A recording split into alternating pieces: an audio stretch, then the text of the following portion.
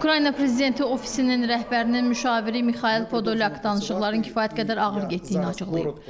Müşavir bunu Ukrayna tərəfinin aydın və prinsipial mövqeyi ilə əsaslandırıb. O müzakirələrin onlayn rejimdə daim aparıldığını qeyd edib. Podolyak vurğulayıb ki, Ukrayna prezidenti danışıqlarla bağlı həlledici məqamları dəfələrlə bəyan edib. Bir qədər əvvəl prezident Vladimir Zelenski də danışıqların çox ağır, bəzən qalmaqallarla müşahidə olunduğunu qeyd edib. Bununla belə dövlət başçısı tərəflərin addım-addım irəlilədiyini bildirib. Rusiya tərəfi isə danışıqların ağır getməsinə görə qarşı tərəfi günahlandırır.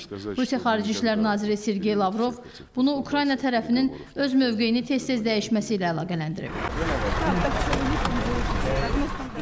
Bu arada Ukraynanın şəhər və qəsəbələrindən əhalinin təxliyəsi üçün 9 humanitar dəhliz razılaşdırılıb. Bu barədə Ukrayna Baş nazirinin müavini İrina Verişuk video müraciətində bildirib. Lakin o Facebook hesabındakı paylaşımında Mariupol üçün təhlükəsiz dəhlizin hələ də razılaşdırılmadığını qeyd edib. Verişuk şəhəri tərk etmək istəyən insanların dərmanlar və digər humanitar yardımların olduğu Berdianska gedə biləcəklərinə ümidvar olduğunu qeyd edib.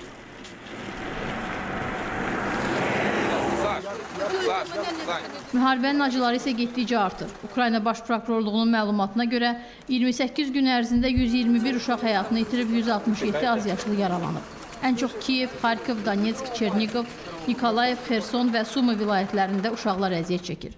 Bundan əlavə bombardmanlar nəticəsində 550-yə yaxın təhsil müəssisəsinə ziyan dəyib, onlardan 72-si tamamilə dağılıb. Fərda Abbasova, ASTV xəbər.